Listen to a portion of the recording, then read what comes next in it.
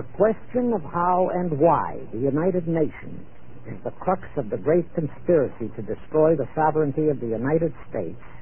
and the enslavement of the American people within a UN one world dictatorship is a complete and unknown mystery to the vast majority of the American people. The reason for this unawareness of the frightening danger to our country and to the entire free world is simple. The masterminds behind this great conspiracy have absolute control of all of our mass communications media, especially television, the radio, the press, and Hollywood. We all know that our State Department, the Pentagon, and the White House have brazenly proclaimed that they have the right and the power to manage the news, to tell us not the truth, but what they want us to believe.